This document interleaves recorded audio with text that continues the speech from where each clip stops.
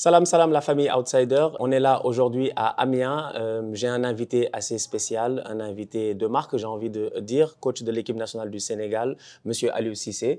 Euh, Aliou Cissé, merci de m'avoir euh, accordé cette entrevue-là. Euh, c'est voilà, c'est très très apprécié.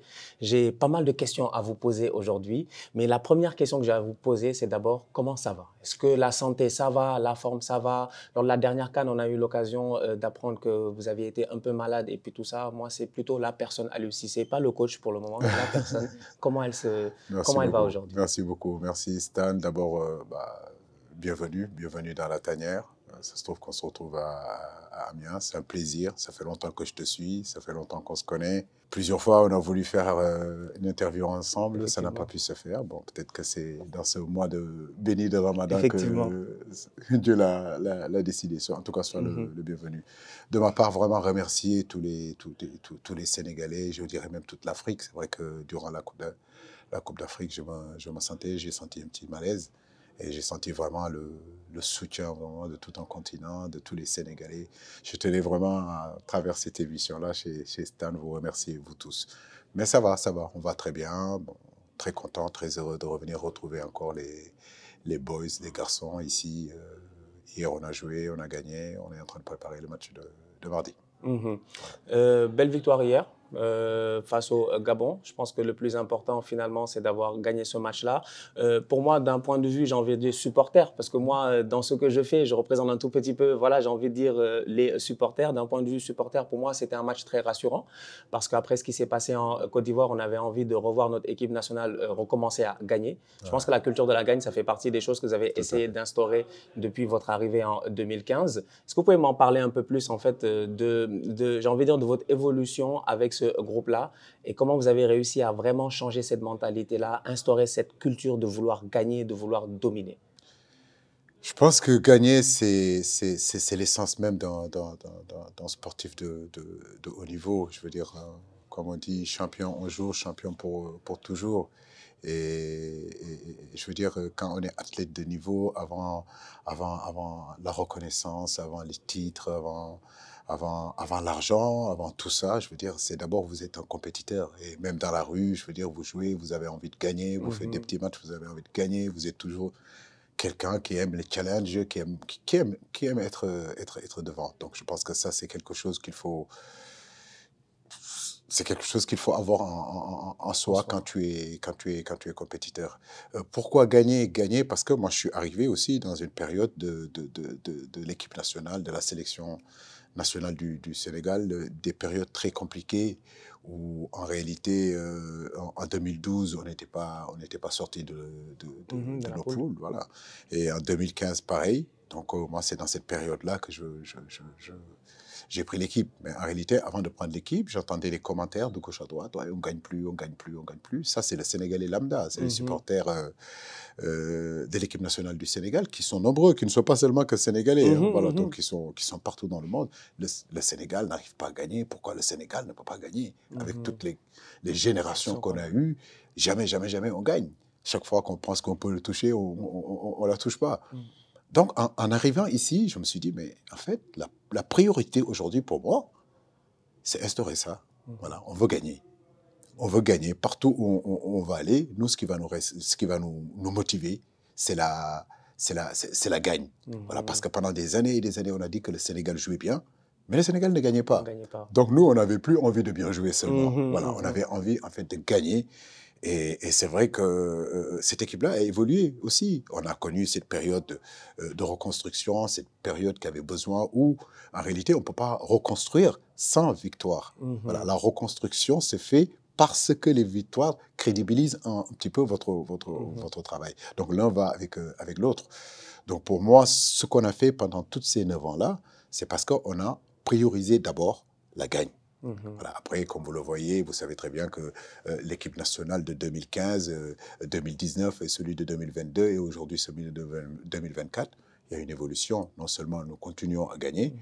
mais nous donnons un sens aussi à notre, à, notre, à, notre, mhm. à notre football, nous donnons un sens à notre jeu. Et je pense que c'est plutôt intéressant. Euh, l'évolution de l'équipe nationale, vous en parlez effectivement quand je vois l'évolution de cette équipe-là, je me dis effectivement, vous êtes arrivé en 2015. La Cannes 2017, je pense que moi, il y a quelque chose que je trouve assez intéressant, c'est que je me dis, j'ai l'impression que maintenant, quand on perd un match, quand on se fait éliminer, il y a toujours un petit facteur qui fait que, en fait, j'ai envie de dire, on ne, comme on dit chez nous, on nous tue, mais on nous déshonore pas, en fait. C'est que moi, depuis que vous êtes à la tête de cette équipe nationale, et c'est pas pour vous jeter des, des, des fleurs, les, les, gens, ils me connaissent très bien. Si Alou, il fait le tocard, je veux dire que c'est du tocarisme. moi, j'ai pas de pitié.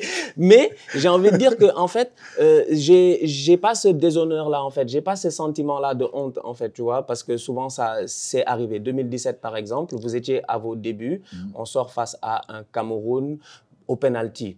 On s'est dit, bon, peut-être qu'il manque un petit truc et euh, tout. Euh, on se qualifie à la Coupe du Monde 2018, on y va, on n'est absolument pas ridicule. La preuve, on est la première équipe euh, avec le fair play et tout ça. Ça se fait éliminer au carton. Ça ah, se joue sur des cartons. Bon, il n'y a pas grand-chose qu'on puisse y faire. On s'est dit, bon, c'est un peu dommage. Peut-être qu'on avait plus d'engagement physique et, tout ça. Mais ça aussi, c'est très important d'avoir cet engagement physique sur le terrain. C'est notre identité, ça. Exactement. 2019, 2019 il, y a il y a cette canne-là en Égypte. On arrive en finale. Moi, jusqu'à présent, je l'ai au travers de la gorge parce que je me dis, mais comment on peut avoir plus d'une dizaine de tirs? On a dominé ce match-là et tout, et on perd sur un tir, un but. Là encore, tu te dis, peut-être qu'il manquait un, tout petit peu. Donc, c'est-à-dire qu'à chaque année, moi, j'ai senti cette évolution en me disant, mais ils y arrivent, en fait. Ils y arrivent. Et finalement, le Graal est arrivé en 2022. On est parti et on a réussi à soulever cette, euh, euh, cette euh, Coupe d'Afrique-là. On arrive à la euh, dernière canne. Euh, je sais pas si comment vous la considérez cette dernière canne finalement, parce qu'en tant que champion, notre statut a changé. Avant, on était vraiment l'outsider, on va dire, donc cette grande équipe là, mais quand même qui ne gagne jamais et qui approche. Maintenant, on a gagné, les gens nous attendaient. Malheureusement, on est sorti face à la Côte d'Ivoire. Vous avez dit que c'est pas un échec. Comment vous pouvez expliquer cela? Non, c'est pas un, échec quand je regarde aujourd'hui notre, évolution dans cette, cette canne. Ne pas oublier aussi qu'il y a d'autres grosses écuries aussi qui ne sont même pas passés de, cette, euh, de, leur poule mhm. et qu'il y a effectivement d'autres équipes comme le Sénégal, comme par exemple le Maroc, qui ont été éliminées en huitième de finale. Mais si on doit regarder aujourd'hui toutes les équipes qui ont été éliminées, je peux dire que les regrets, c'est surtout le Sénégal par rapport à ce que nous avons fait mhm. dans l'entame de cette compétition-là. L'entame de cette compétition-là, je crois qu'on a proposé du jeu, on a marqué des buts, notre système, tout le monde en a parlé, à l'unanimité, on a dit que c'est cette équipe-là, la meilleure équipe de ce tournoi-là. Euh, dans la poule de la mort. Effectivement. Voilà. Donc, euh, malheur à nous, ça a été une Coupe d'Afrique quand même assez bizarre. franchement. Voilà. Malheur à nous, on tombe sur le pays organisateur. Organisateur. Voilà. Donc, sur ce pays organisateur, encore une fois de suite, on n'est pas ridicule, on ouvre le score. Après, il y a eu des faits de jeu. Après, c'est vrai aussi que nous, on, s'est coupé un petit peu du jeu. Voilà, on a, on a, on, a moins joué, on a été euh, plus omnibulé par ce deuxième but-là, coûte que coûte, pour tuer le match. Et en fait, ce deuxième but nous a toujours fui. Alors qu'on était en avance, peut-être que, bah, avec le recul, on aurait dû calmer un petit peu le, le, jeu, poser le pied sur la balle, essayer de tourner un petit peu, chercher des fautes, essayer de casser le rythme pour aller au bout. Nous ne l'avons pas fait, mais bon, je pense qu'un deuxième mi-temps, en début de deuxième mi-temps, je pense que le Sénégal, euh, si le, on, avait l'occasion de, marquer ces deuxième buts-là. Donc, on a proposé du jeu. Malheureusement, on ne perd pas encore sur le terrain, on perd sur, mhm. euh, sur les tirs au but. Mhm. Donc, j'ai envie de dire que ces trois matchs-là, ça, ça, ça, ça, a montré que le Sénégal était la meilleure équipe, en tout cas de ce tournoi-là. C'est pas pour rien du tout que j'ai gagné. Euh, on m'a décerné meilleur entraîneur de cette, de cette première poule. Ça veut dire qu'on a, on a prouvé des choses. Maintenant, c'est vrai, une grosse frustration, voilà, une, une, sensation de travail euh, non, non, non, abouti. Voilà, donc, euh, j'ai envie de dire plus de frustration que de que d'échec, quoi. parce que parce que quand même mon équipe a joué, mon équipe a proposé du jeu. En, quatre matchs, on a marqué neuf buts, on a encaissé que deux buts euh, sur coup de pied arrêté, l'autre sur, sur, sur, son penalty. Mm. Voilà, c'est le, le, football. Parfois c'est bizarre. Voilà, parfois c'est bizarre mais c'est comme ça. Qu'est-ce que vous dites à vos euh, détraqueurs? Après, c'est normal, vous êtes à un certain niveau. Aujourd'hui, moi-même, je suis un fan d'Arsenal, ça tout le monde le sait, malheureusement. Donc, euh, c'est-à-dire que si on doit parler d'une équipe qui a toujours ce potentiel-là, mais qui, ça fait 20 ans, on attend un titre de Première Ligue, c'est bien mon club en, tant que tel. Qu'est-ce que vous avez à dire par rapport à euh, les détraqueurs que vous avez, surtout par rapport au système de jeu qu'on a? Moi, ça m'a pris du temps pour comprendre le système de, de jeu. Et je me dis, si moi... Tu as compris Oui, moi, ça m'a pris du temps, mais j'ai capté. Franchement, j'ai capté J'en ai parlé hier même dans ma vidéo que j'ai faite ce matin par Hein? rapport au match sur le Gabon. Gabon, j'ai dit que j'ai capté le système de, de, de jeu qu'on essaie de mettre en place. Mhm. Cependant, moi, je trouve que le système de jeu en tant que tel, il a quelques limites. Mhm. Moi, j'ai une question à vous poser, vous, d'un point de vue personnel en tant que coach. Est-ce que vous sentez en tant que coach que vous avez, vous, des, des limites? Parce que moi, j'ai eu l'occasion de voir un Pep Guardiola rater une demi-finale de Ligue des Champions, un Zinedine Zidane, malgré les trois, euh, euh, les trois Ligues des Champions d'affilée, rater certains matchs. Donc, on a vu des grands, des grands coachs qui arrivent dans un match, et puis nous, en tant que supporters de notre télé, bien entendu, on regarde et on se dit, mais il y a quelque chose qui a manqué, il aurait dû faire ça, il aurait dû faire ça et tout. Est-ce que vous, personnellement, parce qu'on dit beaucoup, oui, Aliou, c'est un motiv, c'est quelqu'un qui s'est motivé ses, euh, ses, euh, troupes, il sait porter une, une équipe, mais on parle toujours de cette limite tactique un peu. Qu'est-ce que vous Mais- avez à leur mais, répondre en mais fait? en fait, pas grand-chose, parce que quand on dit limite, il faut dire en quoi? Hmm, Lim- Limite en quoi?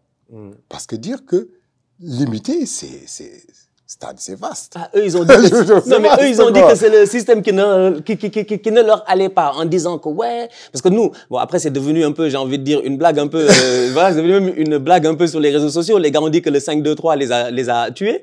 Mais, j'ai envie de dire. mais- et- et- et le 5-2-3 qu'on est en train de parler, Hmm, en où on ne peut pas défendre comme ça? Hmm. Stade Quand on dit 5-2-3, on parle de quelle phase? Offensive Ou défensif. ou défensive Tout à fait. Si c'est défensif, je suis désolé, c'est possible de, de défendre comme ça. Mhm, En réalité, vous gardez les mêmes positions d'attaque mhm, et c'est les mêmes positions que vous gardez en défense. mhm. Cela permet tout simplement que quand vous récupérez le ballon, chacun est dans sa position et dans son couloir pour pouvoir attaquer le but. Oui, c'est possible de le faire. Maintenant, c'est vrai qu'il y a une autre façon de faire aussi. J'aurais pu faire un 5-4-1 classique, amener Sadio Mané sur le couloir gauche fermé, amener Ismaël Assar, laisser Habib là-bas et puis voilà. Par- par moment- beaucoup plus défensif. par mo- contre. voilà, par moment- beaucoup plus défensif. Voilà, que par le- moment, on a eu à le faire, Mhm, mais en réalité, euh, notre système, euh, en défendant, c'est pas ça le problème. En tout cas, sur cette canne, on n'a pas eu de problème de, de- de- de- défensif. mhm. Voilà. Si on me dit, euh, sur ce match contre la Côte d'Ivoire, effectivement, dans l'élaboration de notre jeu, voilà, dans, dans, dans, dans le fait euh, d'être encore beaucoup plus fluide dans notre jeu, on n'a pas trouvé cette fluidité-là, on n'a pas assez joué, on n'a pas, on a, on a, on a, on a confondu vitesse et précipitation, on a sauté trop vite cette ligne du milieu de terrain avec des garçons comme on a, qu'on a comme Pape Matarsar et, et Lamine. Camara, c'est difficile parce qu'eux, ils ont besoin du ballon. Mhm. Si on me dit que oui, dans la possession du ballon, on a eu du- du- du- des difficultés, ou bien dans l'élaboration du jeu, je dis oui, mais pas dans notre système défensif. Nous, nous, nous, nous, de notre point de vue, on se disait aussi que, euh, par exemple, dans ce système-là, finalement, peut-être que les deux milieux de euh, terrain, donc en l'occurrence dans ce match-là, on peut le dire, par Matarsar et Lamine Camara, ne sont-ils pas de temps en temps laissés tout seuls ou ne sont-ils pas en infériorité numérique par rapport à l'adversaire qui, lui, peut-être en a trois au milieu et Mhm. qui réussissent à créer ce surnombre-là. Et c'est pour ça qu'hier, par exemple, je vous posais cette que- question en conférence que- savoir est-ce voilà. que le milieu, est-ce que le, Mhm. le, le défenseur Mhm. ou le milieu de terrain défensif ne doit-il pas faire ce travail-là? Hier, c'était Pathé 6 Mhm. euh, quand on a joué face au, euh, euh, face au Gabon. Donc, c'est lui qui faisait vraiment cet essuie-glace-là et il l'a bien fait. Est-ce que dans ce système-là, on n'a pas ces limites-là où quand on n'a pas le, le- le ballon, on devient vulnérable? Donc, Mais tout dépend, tout dépend où est-ce que vous voulez jouer, Mm. Stan. Si c'est pour jouer bas, peut-être que oui. Mais si c'est pour jouer haut, moi je ne vois pas vrai n'y en a pas. Effectivement. Voilà. Non, sur ce point-là, moi, je suis J'ai d'accord. envie de jouer haut. Mhm. Si j'ai envie de jouer haut, forcément, il faut que je me découvre. Mhm. Vous ne pouvez pas ne pas vous découvrir, je te dis, en voulant jouer haut. Il faut choisir soit de défendre l'espace, soit de défendre le temps. Mhm. Moi, je décide de défendre le temps. Mhm. Si je veux décider de défendre le temps, il faut que je coupe à la source. Si je veux décider maintenant de défendre l'espace, je recule mon équipe. Tout dépend du choix de l'entraîneur. Mhm. Non, j'aime bien, j'aime bien ce que vous dites.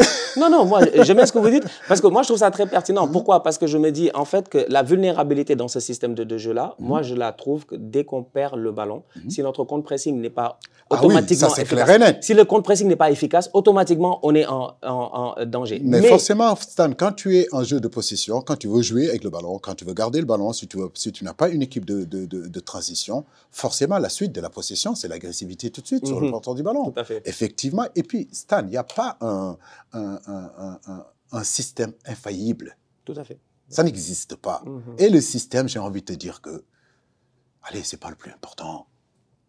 Voilà, le plus important aujourd'hui, c'est que tout le monde bah, a envie d'atteindre un objectif commun.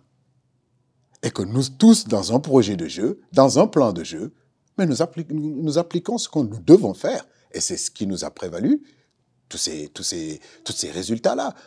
Les gens aiment parler de système. en réalité, c'est comme tu prends une phrase, tu dis sujet, verbe, mais tu, tu ne mets pas le complément. non, c'est pas une phrase. Mhm. Donc, quand on parle de système, c'est ce que nous sommes en train de faire, toi et moi. Mhm. Là, tu m'amènes tes arguments, je te donne des contre-arguments. Mhm. Voilà. Mais tu peux pas dire, et, et, et, tu dis limite. Il est limité. Mais limité, il faut expliquer, limite, c'est quoi?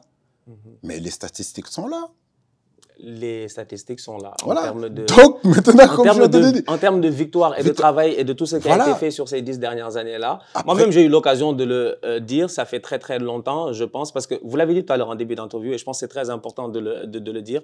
Moi, j'ai arrêté de regarder l'équipe nationale du, euh, du, Sénégal à un moment donné, je ne vais pas vous mentir, je l'ai dit, entre, je pense, 2000, je pense, entre 2010 et 2015, genre, pas que j'en avais marre, mais c'est que j'avais un sentiment de me dire, mais je suis fatigué, quoi. On est fort, mais pourquoi? En fait, pourquoi? Pourquoi? Et donc, après, ça a changé. Maintenant, je reprends goût à regarder l'équipe nationale du euh, Sénégal. Parce qu'effectivement, déjà, la mentalité, elle a changé.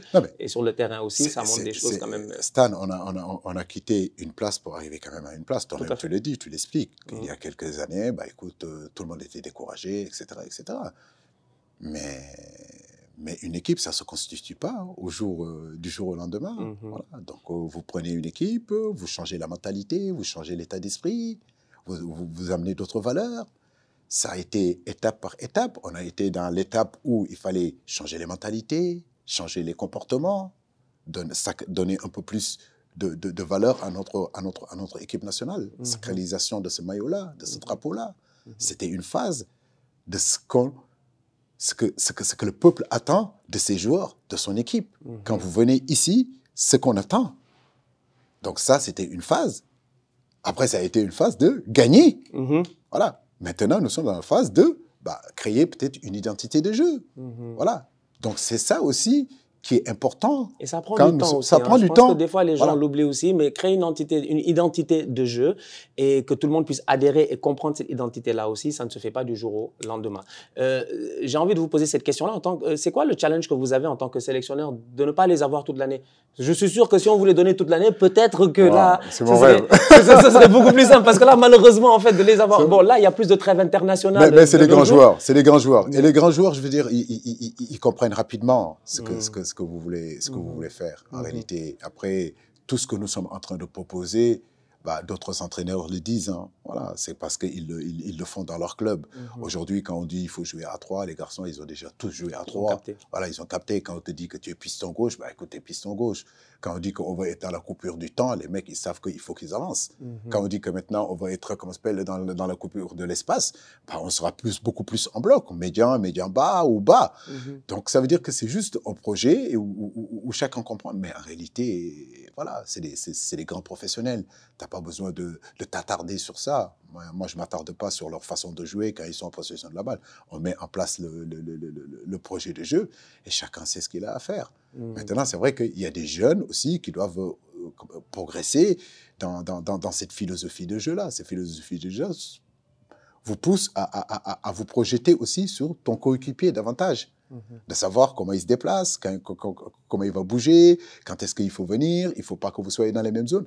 C'est tout ça. Mais hier, on a touché quand même quelques phases de jeu très, dans notre, très intéressant. Donc, je pense que le Sénégal a gagné, va continuer encore à gagner, mais le Sénégal aussi doit aussi construire quelque chose que tu sais, partout où les gens seront, ils diront ah tiens ça.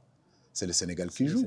Voilà, ça c'est notre rêve. Mhm. Voilà, décliné par la Fédération sénégalaise de football, par le directeur technique. C'est pas un projet seulement Cissé, c'est pas mhm. seulement, c'est pas, c'est même pas le projet d'Aliou bah Cissé. Voilà, c'est le projet aussi de la, de la, de la fédération. Gagner, mais aussi que ça soit contagieux. L'équipe A continue à gagner, ça a été contagieux sur toutes les autres catégories. Mhm. Donc, si on amène une philosophie du jeu, une mentalité de jeu, ce sont ces mentalités-là aussi qui vont encore se propager un petit peu partout dans le football sénégalais. Et tout ça, c'est bénéfique. Mhm. Euh, pour gagner, euh, je pense qu'il faut un groupe, il faut une osmose. Vous avez réussi à le créer. Euh, j'ai l'impression, moi, de l'extérieur, que la tanière n'était pas aussi rassemblée qu'elle l'est aujourd'hui.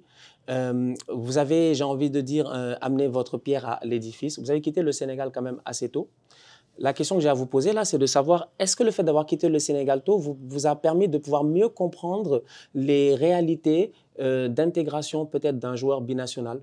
Parce que moi, je vois un, groupe aujourd'hui où je ne sens pas de différence. C'est-à-dire que je ne sens pas de différence entre mon chérou qu'on connaît très bien, Ouais. tu vois, mon chérou du Sénégal Mhm. et mon Jacobs qui peut-être euh, son français n'est pas super clair, son Wolof peut-être que voilà, etc. Où on voit un pape gay qui est en train d'apprendre le Wolof en ce moment, etc. Vous voyez Donc on voit vraiment cette osmose-là dans la tanière et moi ça c'est quelque chose que j'ai l'impression manquait avant. Ouais, Comment vous avez réussi à, à ramener cela? Est-ce que c'est votre expérience? c'est- ce que je te disais tout à l'heure, Stan. C'est c'est l'acte 1 de la construction de l'équipe. Mm. Voilà, c'est arriver à, mettre en place en réalité cette dimension spirituelle, mm-hmm. cette dimension d'amour, d'accepter de, de, la différence. Mm-hmm, voilà. Mais c'est vrai qu'aujourd'hui aussi, moi, mon, mon background, aujourd'hui, m'a donné la possibilité de connaître la mentalité du, du- du- du national. Mhm, Voilà, parce que je suis né au Sénégal, parce que j'ai grandi au Sénégal, même si je suis parti très tôt, mhm, bah, j'ai souvent été là et je connais les réalités de mon pays. mhm, Mais j'ai vécu aussi plus de 30 ans en France, Mhm. en, en- euh, en Europe. mhm, Donc, je, je connais les deux mentalités. mhm. Voilà, je connais les deux mentalités, donc je peux parler avec les deux mentalités. Je veux dire, je- comme tu le disais, tu prenais l'exemple de Cherou Kouyaté. Cherou, c'est un garçon que tu sais, quand je parle avec lui, je sais, je touche un petit peu mon éducation. Mais c'est pas la même chose. voilà. Je comprends.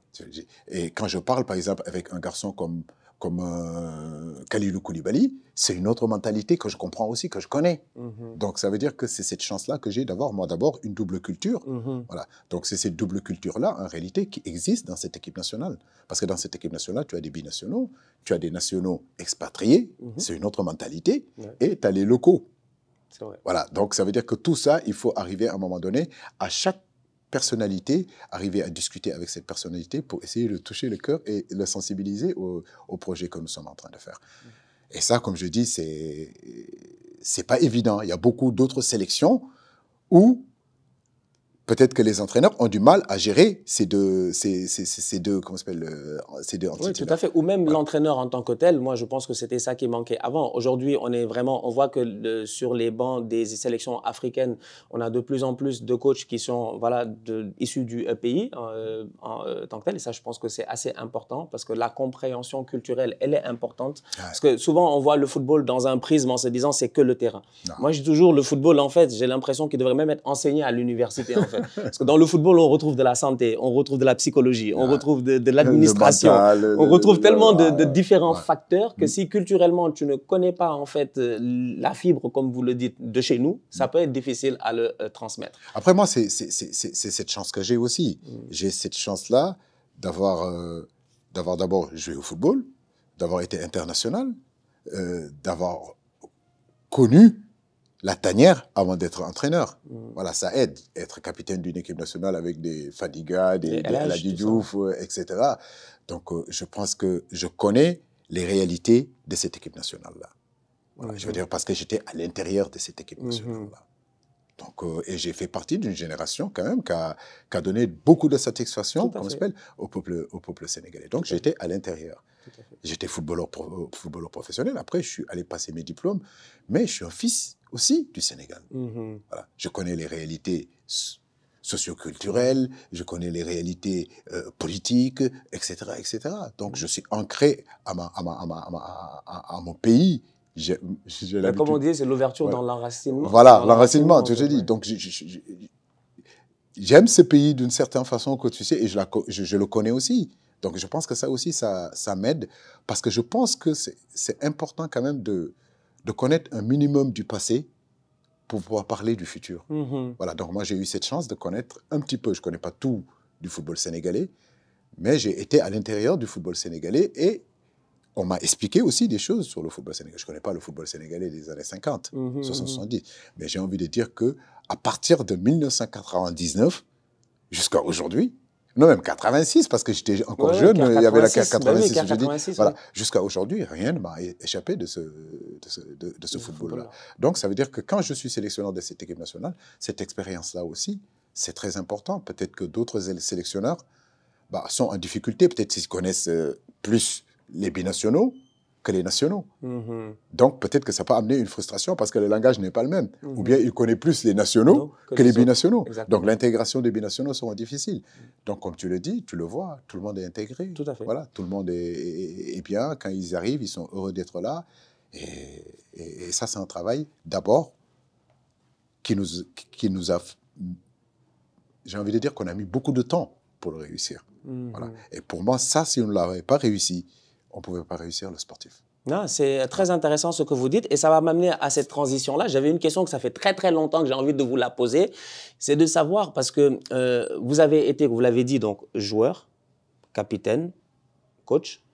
C'est la pression. Elle est plus grande quand tu es coach ou quand tu es joueur et quand vous avez été genre Oh, ça dépend. capitaine de 2002 Ça dépend et qui. coach de 2022 là. La Ça- pression, elle est plus haute où en fait? C'est quoi le, le- le- le- le St- stress Stan, ça dépend de qui.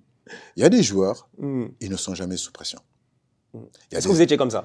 Non, moi j'ai toujours été sous pression. moi, moi j'ai toujours été sous pression. Pourquoi? Parce que j'avais moins de qualité que les autres. Ça a le mérite d'être clair en fait. Ça a le mérite d'être clair. Donc, moi, il, il- il me fallait être plus motivé que tout le monde. Yeah. Il me fallait être plus prêt physiquement que tout le monde. Mhm. Je dis. Et puis, et puis, et puis, et puis, et puis voilà, la pression. Mais c'est normal, parce que je sais que moi, on me donnera pas de chance. Mhm. Stan, Stan, moi, cette équipe nationale, je me suis jamais installé. C'est ce que je suis en train de te dire. Mhm. C'est que chaque match que je jouais, je dis à mes gars, écoutez, demain on est viré.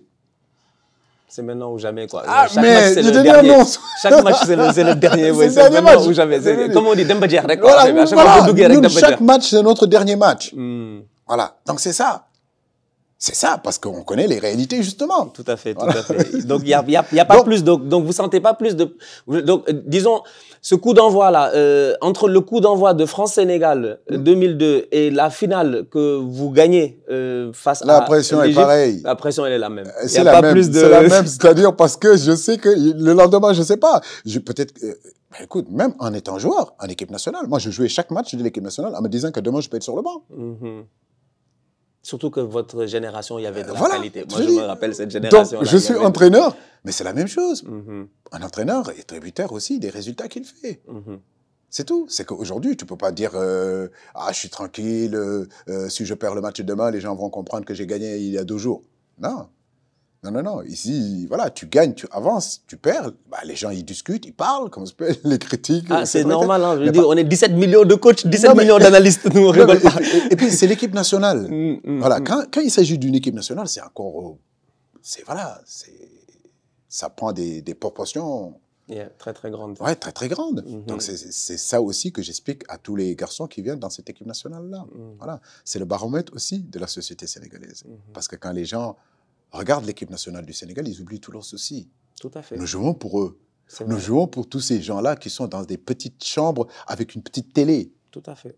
Ces gens-là qui se lèvent à 14 heures. Le match, il est à 16 heures. À 4 à 15 heures, ils sont déjà au stade. Tout à fait. Voilà, c'est cela-là que nous, nous, nous- qui nous motive. C'est eux, notre motivation. C'est à eux qu'on a envie de faire plaisir.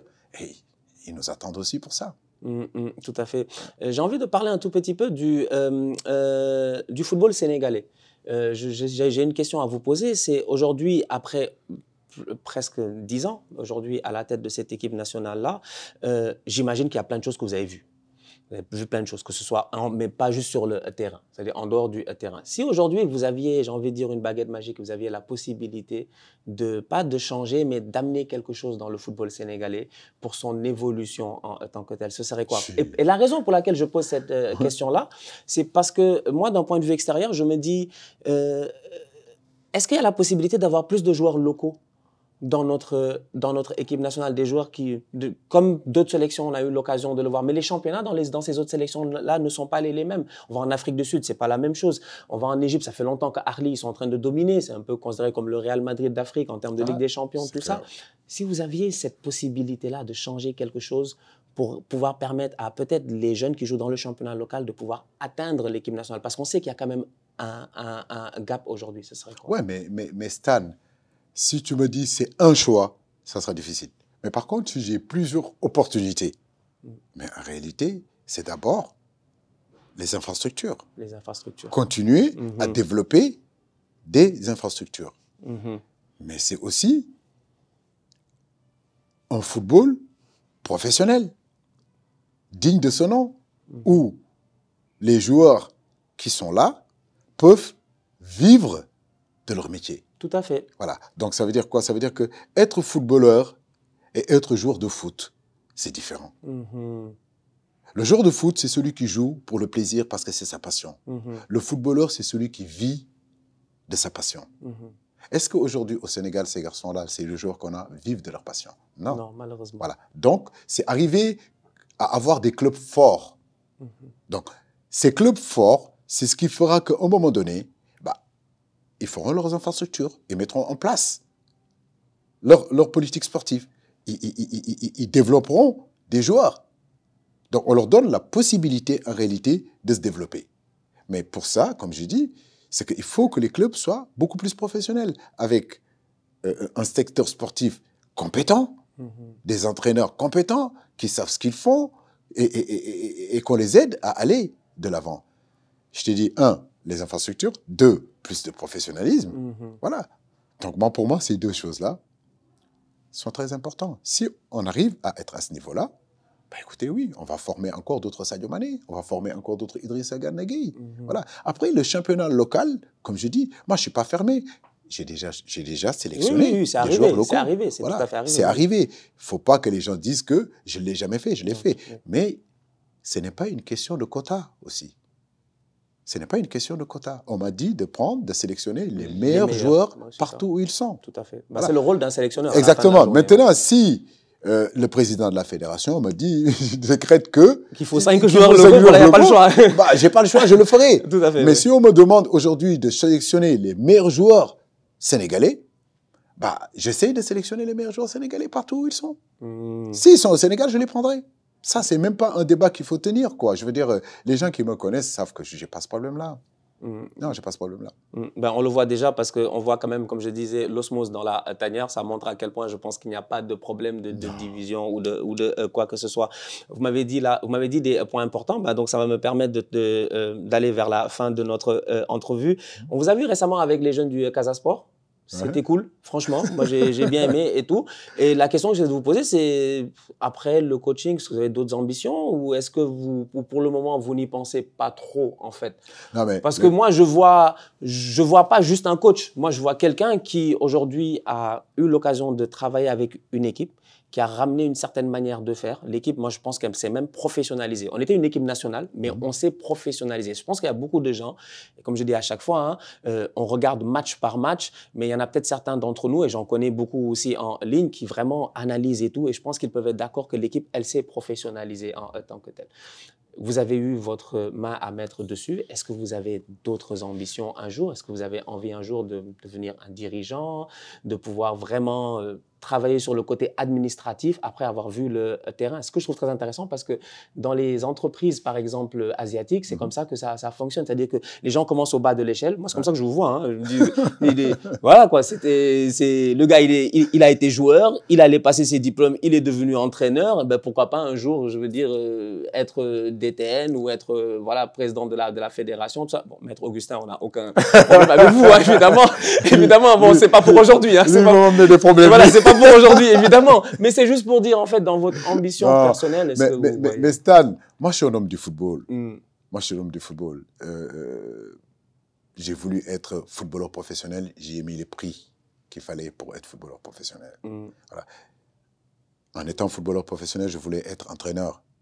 J'ai pris mes baluchons, je suis retourné à l'école, je suis mhm. allé passer mes diplômes. Voilà. Je suis venu ici pour exercer le football est vaste. Mhm. Voilà, il y a d'autres, il y a d'autres corps de métier, comme on s'appelle dans le, dans le, dans le, dans le football. Voilà, mais une chose est sûre, c'est que pour l'instant, moi, je suis, je suis, je suis entraîneur.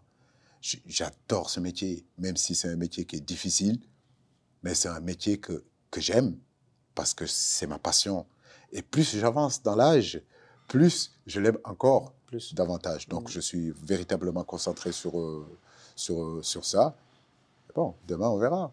On verra pour revenir sur le Casasport, le Casasport, c'est le club de la région. Mhm, voilà, aujourd'hui, euh, euh, quand le club va mal, bah, nous tous, on est, on est, un, petit, peu, on est un petit peu touché par ça. Donc, euh, je ne peux pas être sélectionneur issu de cette région-là et que le club phare soit en difficulté sans pour autant que j'aille et que je les encourage. Donc, euh, ils ont mon soutien, ils, ils le savent. Mais je crois qu'il y a un tout petit peu du mieux depuis. Donc, euh, c'est cool. Le discours a, a, été bénéfique. Non, je ne sais pas si c'est le discours, le discours ou pas. A été bénéfique. Mais le petit coup de pression qu'on a mis au jeu, là, ils se sont gérés. Ils ont commencé. Ils ont capté. En fait, en fait je pense qu'ils ont capté que s'ils ne se gèrent pas, peut-être que l'équipe ah, nationale, là, ça va être compliqué, les gars. Il faut élever le niveau. Non, mais c'est même pas ça. C'est que s'ils ne se gèrent pas, bah, le club phare ouais. va, va, va, va, sombrer. Alors qu'il n'y a pas longtemps, ils étaient champions. champions. En fait. Et, l'heure est grave, en fait. Dans ce discours-là, c'est mm. expliquer à ces garçons-là que, mais l'heure est grave. Mm-hmm. Réveillez-vous. Voilà. C'est que si ces clubs-là, ils viennent de descendre, c'est pas bon pour nous. Hmm.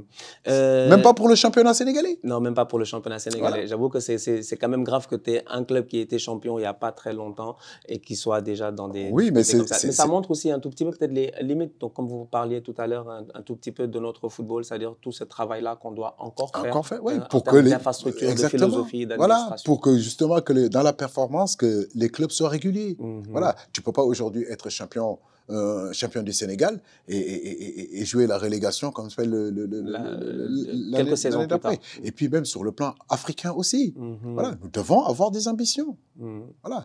Aujourd'hui, quand tu vas dans la sous-région, il y a des Sénégalais qui vont jouer en Mauritanie, il y a des mhm. Sénégalais qui vont aller jouer au Mali, il y en a qui vont jouer, comment s'appelle, euh, en Guinée-Conakry. Voilà. Avant, l'Eldorado de l'Afrique de l'Ouest en termes de football, c'était le Sénégal. Mhm. C'était les Bissau-Guinéens qui venaient, c'était les, les, les, les, Maliens, les, les, Guinéens, qui, voilà, les Mauritaniens qui mhm. étaient là. Mais aujourd'hui, regardez, il n'y a plus personne. Et justement, c'est les, jeunes Sénégalais qui vont dans ces... Oui, parce qu'on voit des clubs guinéens, par exemple, qui payent, voilà, qui et, qui sont, et qui sont performants aussi sur la scène africaine, euh, en Ligue des Champions et, et, tout ça. Donc, sur le côté des sélections, bah, nous travaillons pour retourner en Afrique et exister en Afrique. Maintenant, je pense que aussi, il faut que les clubs aussi, qu'on les aide à travailler pour exister aussi au niveau des clubs mm. sur le continent africain. Parce que mm. c'est important. C'est très, très important parce que c'est ce qui fera que bah, notre football va se développer. Est-ce qu'aujourd'hui, euh, l'évolution du football sénégalais, euh, euh, c'est l'équipe nationale? Mm-hmm. Moi, je ne le crois pas. Mm. C'est les clubs. C'est les clubs, tout à fait. Voilà.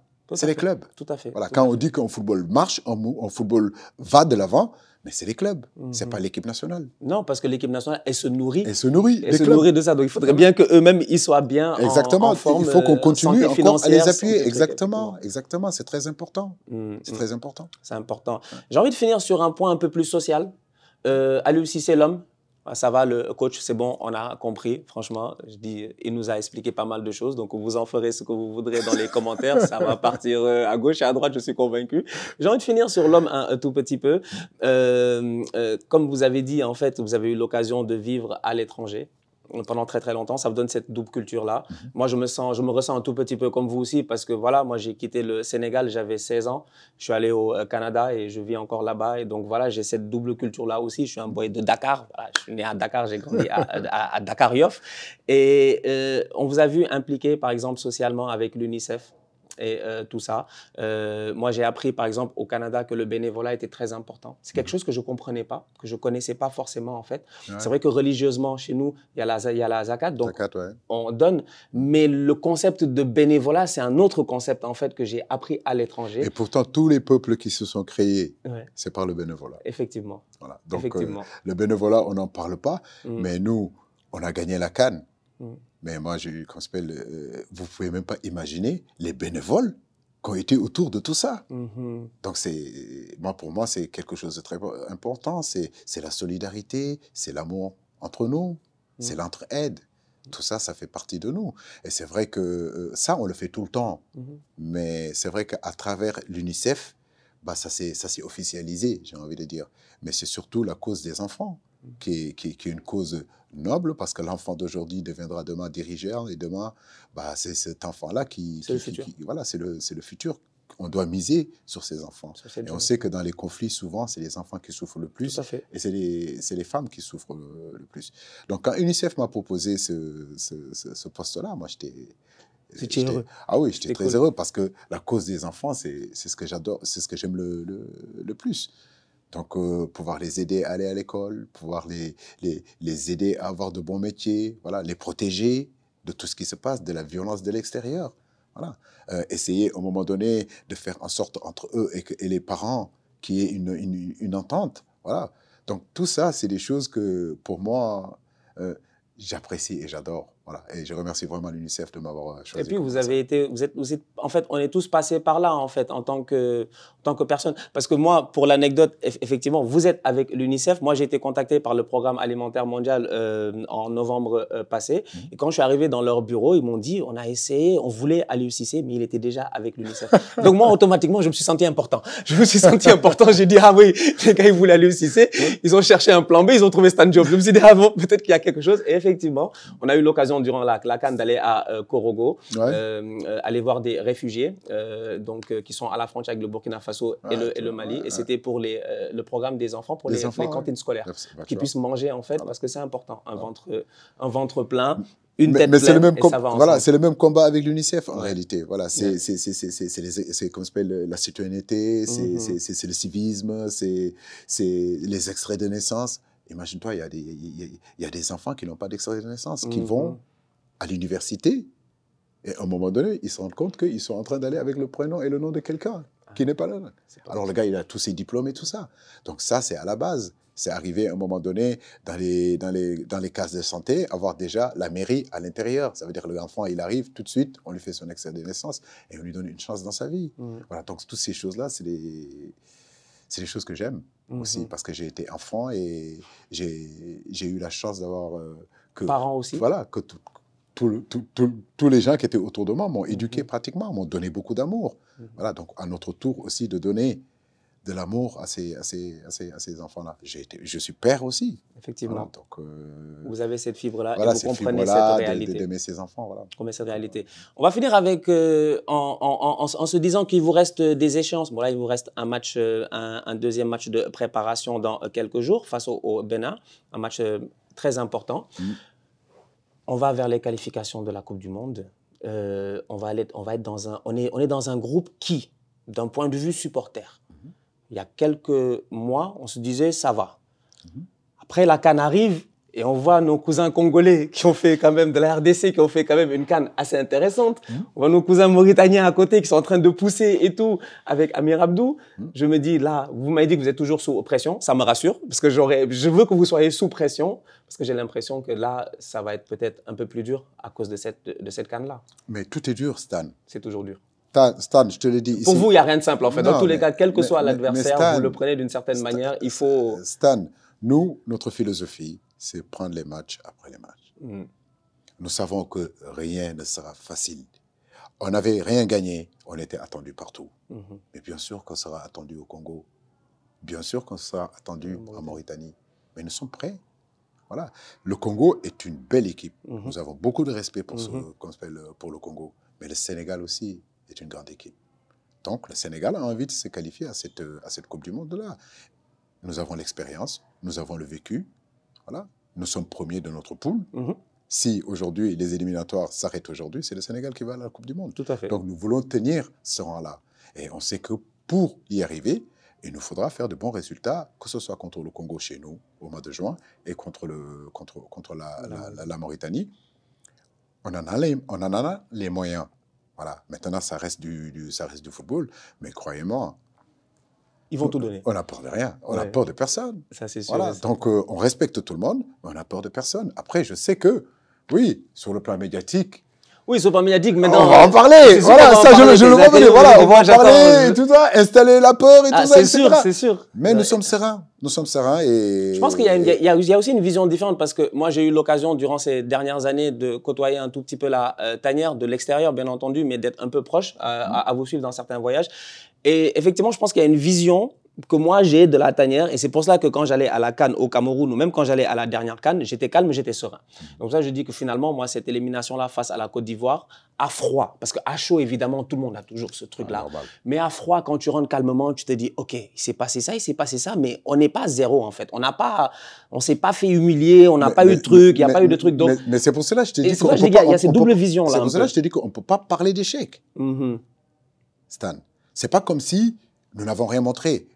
Ah non, on a montré. Voilà, on a Meilleure montré- attaque on- de la phase de poule, tout ça, je veux dire, on a montré. on, là. a eu des- on- on a eu beaucoup d'espoir. Mm. On a fait cette Coupe d'Afrique, on l'a préparée comme jamais nous l'avons préparée. Mm.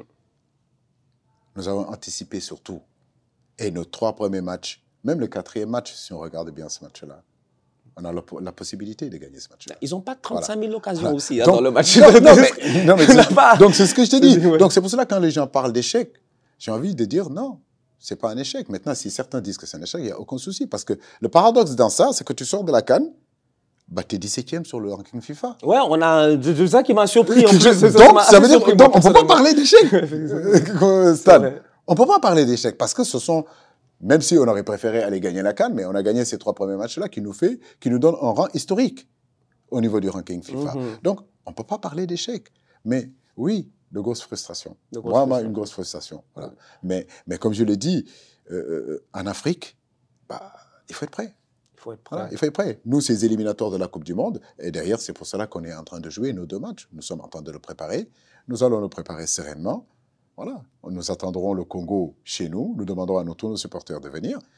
Et si on veut, si on veut aller à cette Coupe du Monde-là, mais il faut qu'on gagne chez nous. Mm. Voilà. Donc, avec beaucoup de respect qu'on a pour le Congo, mais on a peur de personne. Ils ont fait une très bonne, une très belle Tout à compétition. fait. ça, à fait. rien à On a- dire. On a, Voilà. on a tous été témoins. Rien à dire. On a tous été témoins. Donc, c'est deux grandes équipes qui se Qui rencontreront. Le meilleur ira à la Coupe du Le Monde. meilleur ira à la Coupe du Monde. Et puis, euh, bonne chance aussi à tous les autres dans le groupe. Aliou Cissé, j'ai envie de vous remercier euh, pour votre temps aussi. Merci. Euh, franchement, c'était très, très cool. Je pense que les gens vont beaucoup apprécier de vous voir euh, sous ce cadre-là, dans une discussion assez relaxe et euh, tout. El Tactico a, a parlé. Maintenant, si vous, vous avez des problèmes avec les tactiques, dites-nous en euh, commentaire. Et peut-être que peut-être qu'ils ont des suggestions, on ne sait jamais. Oui, hein, mais, gars, ils voient- non, les- mais- mais après, c'est un que j'ai. T'aurais dû continuer encore dans la tactique. Fallait Non. pas t'arrêter. Ah non, parce que les, non, non, parce que les, les gars ont dit non, les, les gars ont trop parlé, les gars ont dit qu'ils sont pas d'accord. Vous savez, moi, euh, par exemple, hier, je l'ai, je l'ai dit. Hier, moi, je l'ai dit. J'ai, j'ai, j'ai dit que ce que moi, j'ai vu, j'ai vu une équipe nationale du Sénégal dans un système de jeu hybride qui, quand elle a le ballon, devient une équipe qui est très très dangereuse. Pourquoi elle est très dangereuse? Hier, on l'a vu. Et D'ailleurs, en deuxième mi-temps, cette équipe du euh, Gabon-là, les deux pistons qu'ils avaient, le numéro 7 et le numéro 10, en début de deuxième mi-temps, ils jouaient beaucoup plus bas. Ils sont venus créer un genre de bloc parce qu'ils avaient capté en première mi-temps que Ismaël Sarr était constamment tout seul là-bas, euh, Mika était constamment tout seul là-bas. Ils se disaient, mais comment est-ce qu'on va réussir à les gérer? Il y avait ce problème-là, en fait, dans leur gestion d'espace. Donc moi, je me dis que c'est un système qui, pour moi, personnellement, je le dis, hein, c'est pas Aliou Cissé, c'est pas mon copain, c'est pas mon ami, c'est pas genre à la fin de l'entrevue, il va me donner un chèque ou quoi que ce soit. Bientôt, ils vont me traiter de tocard. Je dis vraiment, c'est pas, mon, pas mon problème. Mais moi, le système en tant que tel, je le trouve intéressant. Et d'ailleurs, j'aimerais en profiter pour dire que je trouve même un peu de similitude, un, un peu dans ce jeu-là, un peu à la Guardiola, aujourd'hui. pas, toi aussi. Non, si, si, si, si, si, si, si, si, si. Doucement, laissez-moi finir, laissez-moi finir, laissez-moi finir. En phase de possession. Je dis bien, en phase de possession, je trouve ce système-là assez intéressant. Pourquoi? Parce que je me suis rendu compte qu'on est vulnérable en contre-attaque. Et j'ai regardé, par exemple, moi je suis beaucoup le football, je regarde énormément de, de matchs. J'ai regardé, par exemple, et j'en j'en parlais ce matin, les, les, je pense qu'ils ont encaissé 5 buts en phase de poule euh, de Ligue des Champions Manchester City, et c'est 5 buts en contre-attaque. C'est L'équipe de, de, de Guardiola est vulnérable en contre-attaque. En fait. Et donc, ça veut dire que quand il s'installe sur le, euh, sur, le, sur le terrain, et nous tous, on le voit, dans cette utilisation de, de largeur-là, dans un Rodri qui joue dans une position de euh, euh, euh, numéro 6, qui réussit à pousser un tout petit peu, qui vient soutenir et, et joueur tout. très important. Joueur très, très important. On voit ça, en fait. On le voit. Donc, c'est sur les contres que tu deviens vulnérable. Mais quand tu es vulnérable sur les, les, les contres, souvent, c'est pas forcément la tactique, mais c'est la qualité individuelle du euh, joueur. Oui, mais Donc, il faudrait que les joueurs aussi ils aient moins de déchets Non, mais, dans leur non, jeu. non, mais après, après euh, Stan, comme je te l'ai dit, si tu veux jouer haut, si tu veux avoir la possession, bah forcément, tu vas être haut sur Tu le te- terrain. tu vas être vulnérable. Alors oui, l'équipe adverse te supervise. L'équipe adverse se dit, OK, ils sont toujours hauts, mais nous, dès qu'on va récupérer le ballon, on a 60 mètres devant nous. Mhm. Voilà. En Afrique, tout le monde saute haut, je l'ai dit hier en conférence presse, gars et tout le monde va vite. Gabon vite. Voilà. Mais c'est là où il faut réfléchir aussi au profil de défenseur que tu mets en place. Voilà. Moi, aujourd'hui, dans le système où nous sommes en train de jouer, j'ai besoin des défenseurs qui sont capables de maintenir notre bloc haut. Donc, d'être capable de se retourner et de jouer, de courir et d'aller très vite sur 10 mètres, sur 15 mètres. Koulibaly va vite, Abdoulaye Seck va vite. Mhm. Voilà, Hier, on le a vu euh, Sano, il a Sano, fait un retour vite. incroyable. Voilà. ouais. Voilà, parce que c'est ça. Parce qu'ils auront dans un match peut-être un ou deux, trois ballons qu'il va falloir gérer comme ça. Et hier, on en a eu. Deux, trois ballons, il faut comme ça gérer. Pourquoi? Parce que bah, l'équipe adverse joue sur, nos- sur, sur- sur leur contre-pressing. Donc, ça veut dire que si le, le pressing n'est pas coordonné, si on n'est pas proactif à la perte du ballon de suite pour pouvoir le récupérer, effectivement, on donne la possibilité à l'adversaire de verticaliser. Et quand il verticalise, nous, on a 60 mètres derrière nous. Et là, ça devient, voilà. Et là, ça devient dangereux. Et ça, c'est valable pour toutes les équipes qui ont la possession. Donc, ça veut dire que, ça veut dire que toutes ces équipes qui jouent avec la possession, au-delà de la possession, c'est que quand on est en possession de la balle, il y a certains joueurs qui doivent changer de film. Voilà, c'est eux qui doivent gérer l'équilibre. Mhm. Voilà, donc si eux, ils ne sont pas concentrés sur ces verticalités, de gagner les premiers ballons et les deuxièmes ballons. Oui, ça aussi c'est important. ne pas perdre de, c'est ça, exactement, ne pas perdre de, euh, de duel, aller toujours récupérer, récupérer. ce premier ballon là. Ce premier ballon là, voilà, parce que souvent il est long, il est long ce premier ballon là, il est très important. Voilà, ça veut dire que si tu le gagnes, bah tu maintiens le bloc encore haut. Mais si tu ne le gagnes pas, tu es déséquilibré. Tu es déséquilibré et tu es obligé de reculer ton bloc sur 40 mètres, mais ça ne t'arrange pas. Voilà. Donc c'est juste pour expliquer tout simplement que oui, on peut, à un moment donné, bah, euh, euh, aller presser et accepter de, se découvrir. Mais moi, je pense que ça fait partie des. En fait, dans tous les cas de figure. Si, si Stan, si je, si, si je composais une équipe aujourd'hui où je mettrais un bloc bas et attendre, qu'est-ce que vous me direz? Ah, Là, on va se plaindre. Là, on va se plaindre, on va dire que ouais, ça attaque pas. Pourtant, au début, au début, au, début, j'avais amené cette philosophie. là. on va parler de cholismo, on va dire qu'il est en train de, mettre des doubles bus, des trucs comme ça. Exactement. des trucs comme ça. Et pourtant, à un moment donné, on a joué dans cette transition-là, mhm. dans cette équipe-là. Mhm. voilà. Aujourd'hui, nous sommes, nous voulons être un peu plus haut sur le terrain, mais nous sommes capables aussi d'être médians. Donc, ça veut dire que ce sont des, ces deux positions-là, en réalité, qui fait que notre bloc restera toujours actif. Si on est haut, le bloc est actif. Hier, tu as vu un bloc actif où les mecs, quand la perte du ballon, on est toujours en train de mettre de l'intensité pour cadrer le porteur du ballon. Mais quand nous avons le ballon, nous mettons nos circuits en place. Maintenant, comme je te dis, pendant 90 minutes, tenir cette pression-là, toujours en train de presser, ce n'est pas toujours évident. Alors, par moment, il va falloir peut-être à un moment donné revenir à la gestion de l'espace. Mhm. Donc, constituer peut-être une ligne de 5 au milieu de terrain ou une ligne de 5 derrière et fermer le milieu de terrain. Mm, mm. Et tout ça, si vous regardez dans nos matchs attentivement, sans émotion. C'est ce que je dis à chaque fois. J'avoue que quand on regarde les matchs avec émotion, on le voit autrement, parce qu'à la fin, je veux dire, c'est le résultat qui prime toujours dans l'esprit d'un supporter. Ça, c'est clair. Ça, c'est clair. Mais quand on s'assoit calmement et qu'on regarde, et moi, c'est comme je dis, c'est ce que j'ai remarqué, et je me suis dit, OK, ça fait du sens. moi, c'est ce que j'ai dit. Hein. J'ai dit, pour moi, ça fait du sens, en fait. Dans ma tête, ça faisait pas de sens, j'allais dire, ça fait pas de sens. Mais, mais, ça faisait du sens. Le match contre la Côte d'Ivoire, où on dit qu'on a été bouffé au milieu, mm. va regarder encore le match. Va le regarder tranquillement, Stan. Et on s'appellera dans dix jours, on en parlera. Hmm. Non, parce que les gars sont pas d'accord hein, en disant vraiment. Oui. Donc, non, on a été submergé au. Non, non, non, c'est une vision. C'est une vision. Ils disent deux, ils disent deux, ils disent deux. Ils disent pourquoi j'ai mis deux Parce que dans la philosophie de certains, c'est une pointe basse plus deux. Oui. Oui, c'est pour eux. Mais cette pointe basse-là devait être peut-être dans notre idée. On se disait que peut-être Abdou Diallo, qui était au centre, aurait dû peut-être pousser un peu plus haut. Oui, c'est possible, mais moi, cette pointe basse-là, j'ai décidé de le mettre plus haut, à l'image de Habib Diallo. Hmm. Je vois. Donc, hmm. tout est question de choix. Hmm. Mais comme ils disent, euh, un tout petit peu high risk, high reward. Donc, euh, quand tu prends des gros risques, tu as des chances d'avoir des grosses récompenses. Je pense que sur un terrain de football, souvent, c'est ce qu'on oublie. Tactiquement parlant, il faut prendre des, des risques pour imposer son jeu à l'adversaire parce qu'on oublie qu'on a un adversaire, on n'est pas seul. On joue pas seul. Moi, c'est souvent, c'est ce que j'ai appris à comprendre et c'est pour ça que je m'intéresse autant dans ce que je fais. Les gens me demandent souvent, oui, pourquoi tu fais tous les matchs de toutes les équipes? Je dis, parce que moi, ça m'intéresse de savoir comment Paris joue, comment Chelsea joue, comment United joue, comment Liverpool joue, comment le Bayern joue, comment le Real, le Barça parce que finalement, tu te rends compte que oui, il y a tellement de, différentes mentalités, de tellement différents systèmes, de manières de prendre du risque aussi. Par rapport, mais, bien sûr que le risque fait partie du, football. Mm. Le risque fait partie du football. Je pense qu'aujourd'hui, tu ne prends pas de risque, mais tu domines personne. Tu domines personne. Certes, personne te domine, mais tu domineras personne. C'est qu'à un moment donné, ces risques-là, c'est, bien sûr, effectivement, c'est risqué de laisser 60 mètres derrière toi en allant presser haut. Mais si tu décides en réalité de couper, de couper le temps, bah, ça te permet de pouvoir gagner des ballons hauts et de ne pas devoir attaquer sur 40 mètres, mais attaquer sur 25 mètres. Mm-hmm. Voilà. Donc c'est ça la logique. Ou bien de dire, OK, maintenant j'ai des mecs qui vont très vite, on sait que bah, nous, ce qu'on va faire, on va reculer, on va gérer notre bloc un peu plus bas. On a 90% des équipes qui jouent contre le Sénégal jouent comme ça. Mm. Ils mettent leur bloc bas.